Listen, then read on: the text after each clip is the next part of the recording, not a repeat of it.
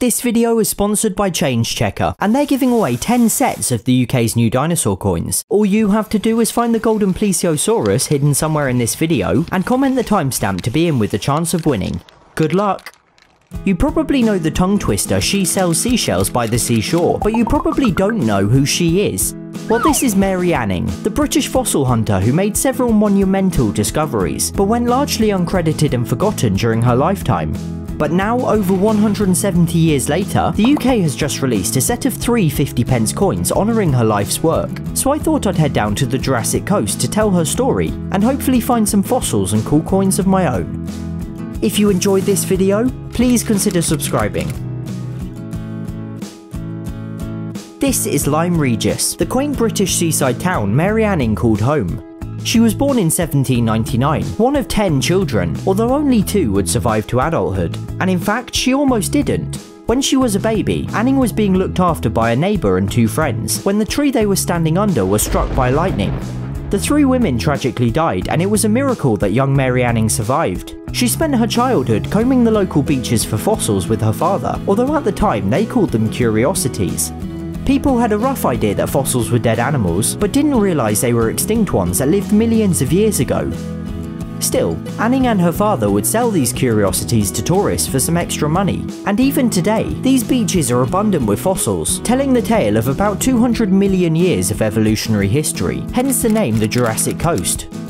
So I'm going to try and walk and talk at the same time, which is probably a bit dangerous and precarious on these rocks, but I was really worried we'd come here and not be able to find any, but we found hundreds. These fossils are called ammonites and were once sea creatures, similar to squid or cuttlefish, but with a shell.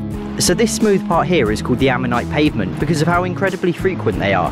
Ammonites are by far the most commonly found here, and also the title of an upcoming movie about Mary Anning. But then when Anning was 8, tragedy struck again as her father fell from one of the cliffs. The fall didn't immediately kill him, but he spent the last three years of his life weak and bedridden, until tuberculosis eventually did. The cliffs around Lyme Regis are treacherous, both from above and below, with frequent landslides and falling rocks. But it's precisely these landslides that reveal the fossils, and sometimes even bones, and it was one such landslide that provided Anning with her first major discovery at just 12 years old. Her brother found what appeared to be a skull, but it was Anning who spent the next several months painstakingly chipping away at the rock to reveal the skeleton of a 5 metre long monster. At first, people thought it was a crocodile, but after years of study and debate, it was named an ichthyosaurus or fish lizard. But of course, being a woman at the time, Mary Anning got none of the credit for discovering the world's very first ichthyosaur. Rather, the men who presented her findings did. Women couldn't vote, hold office, attend university, or even take part in science at all. So it truly is wonderful to see her work honoured on a British coin above her name. There's also the creature's skull, what it would have looked like when it was alive, and the name of this specific ichthyosaur, a Temnodontosaurus. And then in 1823, Anning discovered the first complete skeleton of a plesiosaurus. This skeleton was considered so weird that many dismissed it as fake. A special meeting was held to discuss the find at the Geological Society of London, although as you can probably guess, Mary Anning wasn't invited, Eventually they conceded it was real, and today it's on display at London's Natural History Museum. Although the museum's currently closed, I was lucky enough to see it when I visited last year, and it's truly amazing. This is definitely my favourite of the three coins. Five years later, Anning made yet another significant discovery, this time of a strange winged creature. Again, news travelled quickly and it sparked the interest of the scientific world. The bones belong to a Dimorphodon, a type of pterosaur similar to a pterodactyl, by her 40s, Mary Anning was struggling to find anything new and exciting. There was still the usual multitude of ammonites and other common fossils, but few people were interested in buying these anymore after her famous and dramatic other discoveries.